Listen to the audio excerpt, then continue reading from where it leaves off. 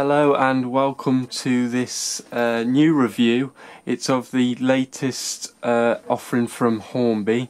Uh, it's the Princess Coronation class which was built by the LMS and this example that I've got is the Duchess of Atholl. So uh, what I think I'm going to do is get right into the detail, show you the locomotive because it is absolutely stunning and uh, obviously I'll show you um, all the details tell you my thoughts, tell you whether you should go and buy one, and obviously I'll throw in some running shots for you as well. So uh, this is going to be a big video. I hope you enjoy. Let's get into it.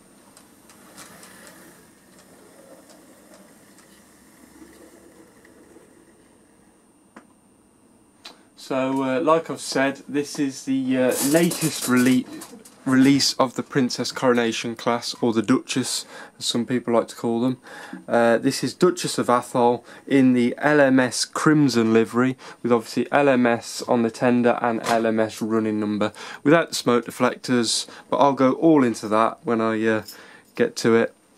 Um, this model is literally, it came out on Friday.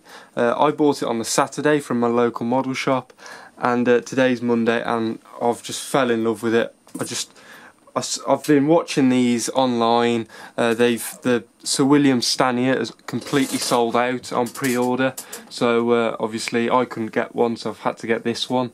But never mind. Um, these are extremely popular, uh, and I'm going to show you why. Uh, so I think what we should do first is uh, I'll quickly show you the box and uh, give you some information on the locomotive. So uh, a quick look at the box, and obviously it's a typical Hornby box. You've got the uh, uh, photo of the model on the front, you've got the uh, roof, and obviously you've got the top of the model on the front, on the top. Uh, it's a typical packaging, so if you slide it out, you've got your ice cube in the uh, in the red part of the box. Obviously, I've took the model out because obviously you've seen it on the track, and obviously if we pull it out, if I chuck that to one side I'll show you the uh, the bag of goodies that you get, which is you get quite a lot actually. You get a uh, a flanged wheel, well axle with two wheels. Now that's because when you take the model out of the box, uh, the wheel underneath the cab is actually flangeless, so obviously that allows it to go around tight turns. Um, if you obviously wanted to uh, put that on obviously you could swap it and then you'd have the flange. But especially if you've got um, like just set track points like I do you're best off to have the the flangeless because then the wheels can uh, it can override and it can actually run off the rail and then it pulls itself back on as it straightens itself up. But it's nice Hornby have given you that. That's obviously if you want to make it look proper dead realistic. You've got the brake rods. You've got some brass uh, piping You've got, look at that, you've even got a spare pair of, um, I don't know if the camera's picking this up, it probably isn't. No, sadly not. I'm so sorry, but uh, I'll, I'll make it quick. You've got a spare pair of steps and they're even painted. You've even got the gold lining on them. You've got a uh, coupler. Yeah, um, yeah, that's about it really. Nice little bag of goodies, but uh, I'll I'll just leave them in there. I do. You've got the um, you've got the uh, obviously the Hornby usual instructions. Obviously, how to take the body off, how to decoder it. Um, if anyone is going to DCC this locomotive, uh, like I have, uh, you uh, undo the front of the tender, screw it. There's I think two screws I remember, on the front of the tender. And then uh, you think that you try and pull the tender off like you do on most Hornby models, and oh, I've knocked over me, me things. Yeah, you uh, you just think it lifts away like on the Hornby Black Five. You literally unscrew it and it just pops off. But there's two clips right on the back. Don't force them. You put you literally. So let's say that's it. You undo the two screws there, you lift it up from this end, and there's two screws that fit into the chassis, and you have to wriggle them out. it took a little bit of force and I felt like I was going to break it. So I will warn you be careful.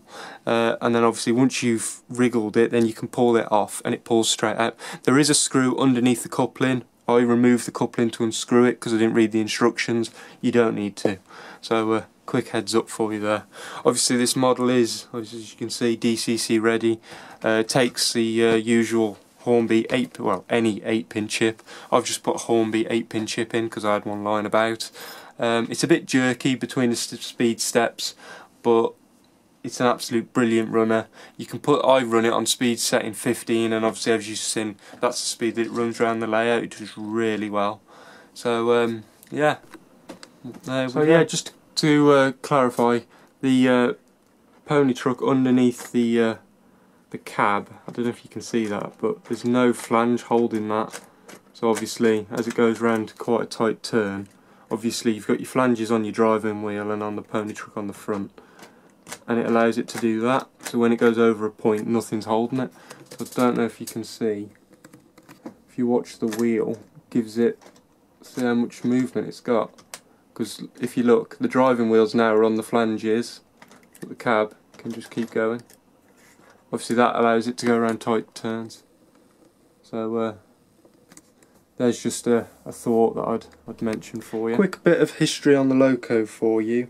This is obviously 63 6231 rather, Duchess of Atholl, and she was built at Crewe, obviously in this condition, without the streamlining, back in 1938, July 2nd, 19, no, tell a lie. She entered traffic at Camden, in London, uh, on July 2nd, 1938, transferring to Polm Polmadie, Polm Polymide, don't know how you say that, sorry, I think that's up Scotland, on January 6, 1940, where it spent the rest of its working life. Moved to storage in August 1962, and then she was withdrawn uh, December 1962. So obviously she would have faced the torch probably 93, maybe 94. Um, she's not preserved. There's three preserved, uh, well, princess coronations. Uh, there's the Duchess of Hamilton, Duchess of Sutherland, and the City of Birmingham. I believe the Duchess of Hamilton is in, in the NRM at York, and that's the only one to retain the streamlining. It didn't have it, but I think probably about 10 years ago, I think they actually put it back on, which uh, that, that loco is worth a visit. I personally think they look so much, they look a lot more classier without it. So, um, I just I just love it like this. I do. So there's a quick bit of history for you.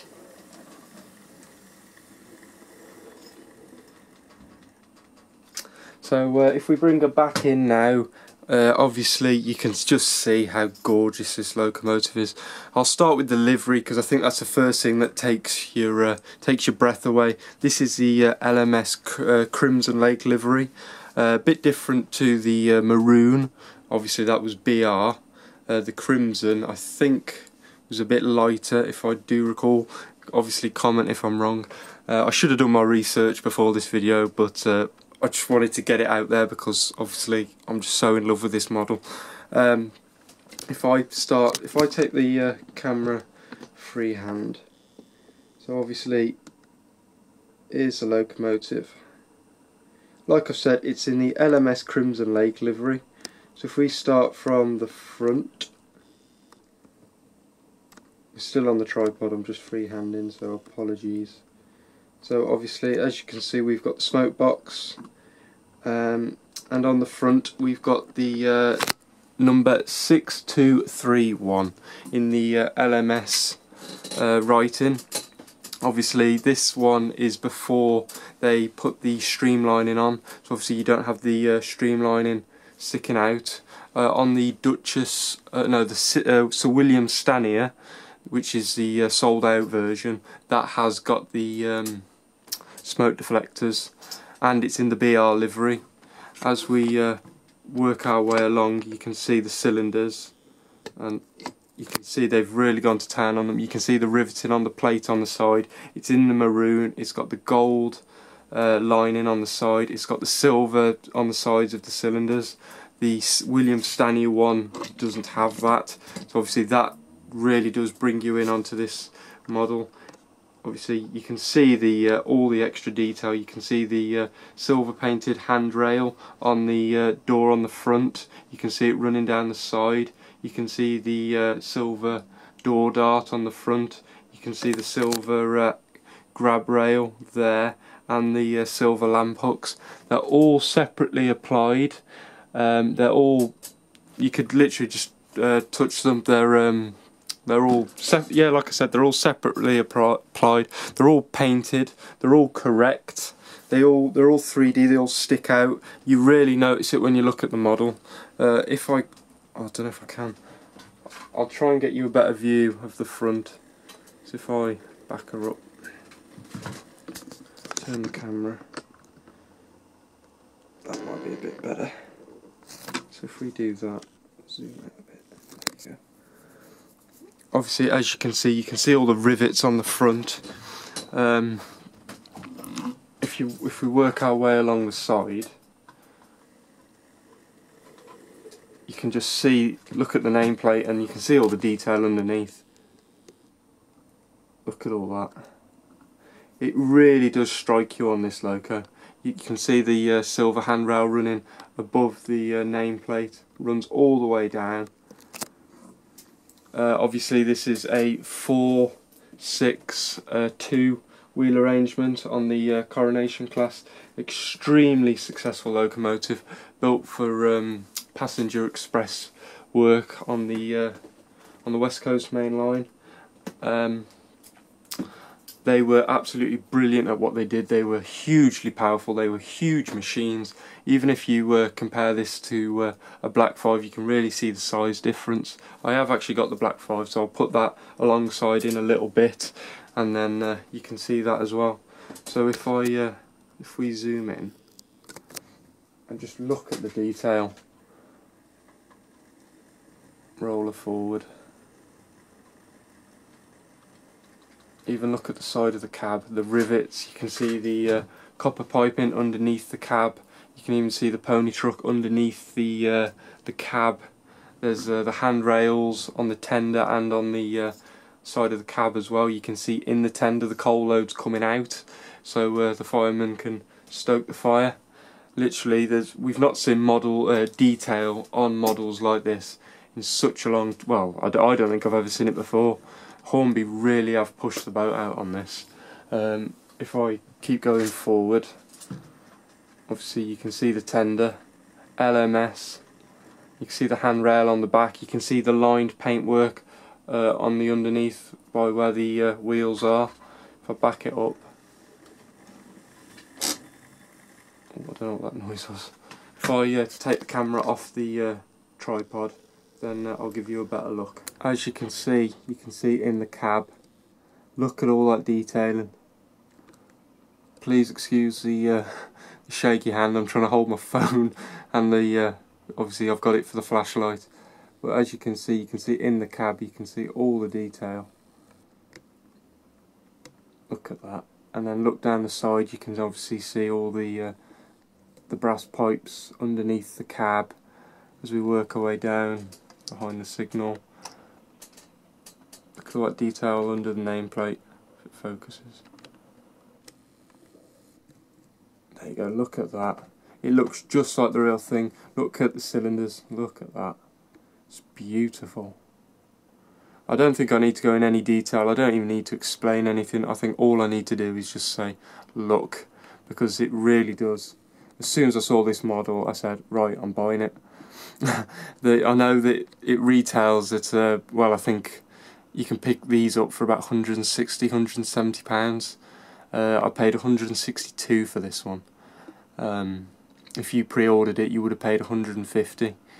But uh, I just wanted to see it in the flesh. As soon as I saw it, had to buy it. So, uh, what do you think of that? And if I work my way around the front with the flashlight. At that.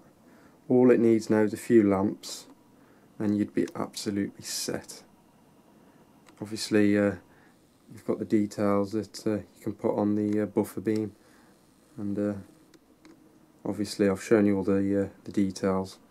I wouldn't like to think what it'd look like with all the details, it'd just be like, wow, but then I'd, I'd, be scared to run it in case I broke anything. But uh, it's an absolute workhorse. I've had to move the tender off the track just so I could see in the cab. So uh, there we go. Just a quick look on top, and obviously we've got the whistle just in front of the cab. Uh, we've got the um, safety valves, the four of them, nicely streamlined in there. Well done to uh, Stanier of LMS, nicely done. We've got a full coal tender load, which um, in pictures I, I thought it looked a bit silly, but in real life, yeah, I like it. I like it. I might not have to put a real coal load on it. Obviously, it'd improve it, but it's not half bad. And then obviously you've got the uh, chimney on the front. It's the uh, single chimney on on here on the uh, model of Sir William Stanier.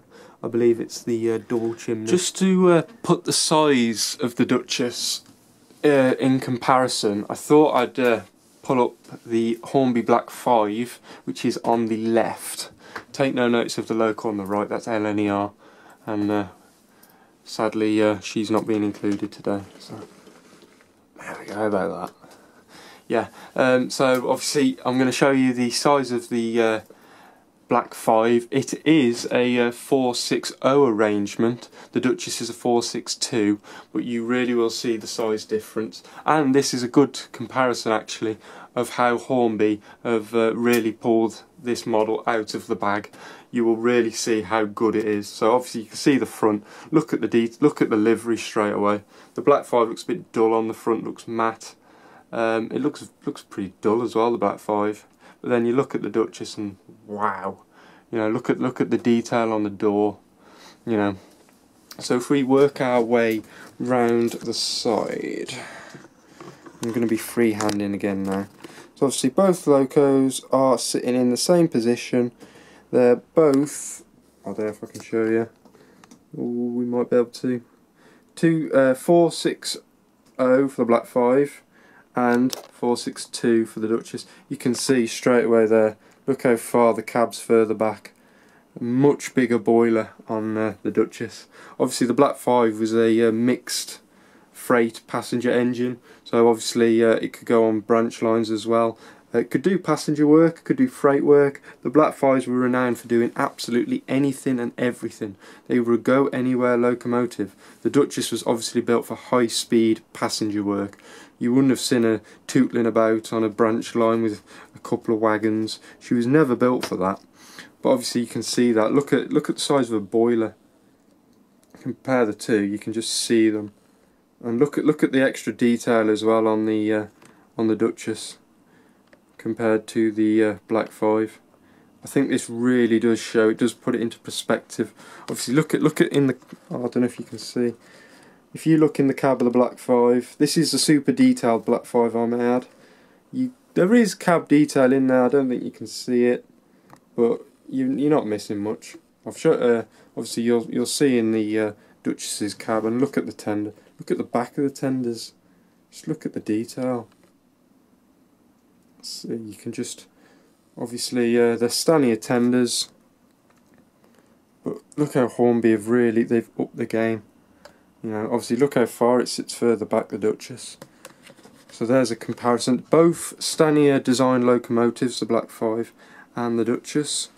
So uh, I think that was quite a uh, useful uh, useful comparison of uh, of the two locos and the two models.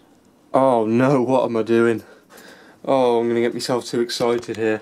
So uh, what I've put, I've brought in now is a Southern locomotive. This is the Merchant Navy class, again by Hornby. This was built as an express passenger locomotive for the southern region. This one is Lamport and Holt line uh, running number 35026 with its British Rail running number. Uh, obviously, like I said, this is another Hornby locomotive. This is a few years old, super detailed, but uh, again, we'll uh, quickly go over it because I'm enjoying this. So, oh, the Black Five's still there. So this is gonna, this will make it even more fun. Three-way comparison. Straight away, who wins for the chimney? Southern. Look at that big bad boy there. Uh, it's got the smoke deflectors on. Obviously, uh, if you if I'd was lucky enough to pre-order Sir William Stanier, I would have had the smoke deflectors.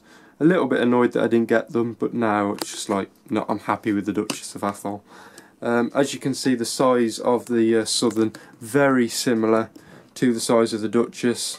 Obviously, this is an express passenger locomotive, the biggest boiler that would have ran on BR, so a bit bigger, uh, maybe a bit more powerful than the uh, the Duchess. You can obviously see the uh, Bulleid tender there compared to the Stanier. It was uh, form over function, definitely for Bulleid. Um, but look at the LMS. Look at the livery as well. The the Hornby uh, Southern, um, well, the BR Green rather. Look at it. It's just dull. It looks it looks more toy-like. But look at the gloss. Look at the shine on the Duchess. You know, just look look at the difference. You know, and pull these. It's third in, and I'm pretty sure the loco that you're looking at is the Duchess. You know, I just you know, I just want to make the fact that I'm blown away, and if you get one, then you'll be blown away as well. I know it's £162, but by God, it's definitely worth it. So most I've spent on a steam locomotive, but yeah, I'm definitely, definitely glad I got it.